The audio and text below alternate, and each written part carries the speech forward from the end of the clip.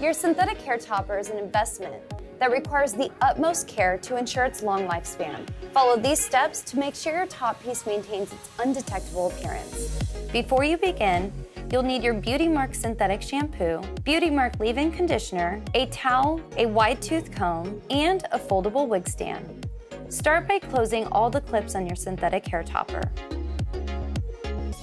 Then, take your top piece and begin by detangling it gently with your wide tooth comb. Make sure to comb the hair starting from the ends to prevent shedding. Once your topper is detangled, rinse your piece from root to ends using lukewarm water. When your top piece is fully saturated, take your shampoo, pour some in your hands, and massage gently to loosen the product. Next, take your synthetic topper and massage shampoo gently into the strands in a downward motion. Then, massage shampoo onto the base in circular motions.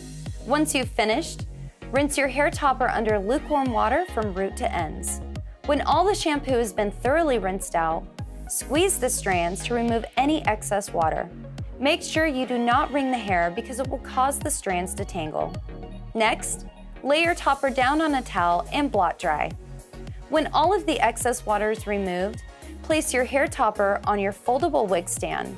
Spray your synthetic top piece with BeautiMark leave-in conditioner and allow it to air dry. A few more expert tips.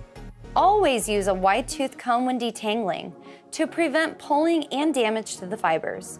Don't use hot water when washing because it can damage your fibers and change the silhouette of the topper.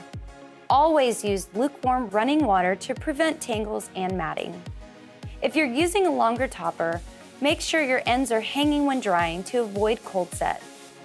Thanks for watching.